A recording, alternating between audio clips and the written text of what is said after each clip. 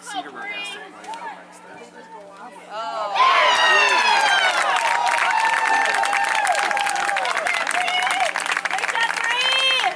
and goal scored in the 29th minute by number 7, Brianna Rapp.